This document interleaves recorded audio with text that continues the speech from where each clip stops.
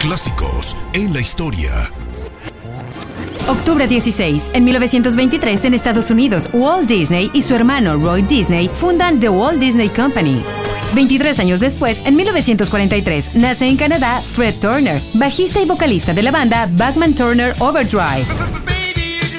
En 1959 llega también al mundo Gary Kemp, tecladista del grupo Spandau Ballet.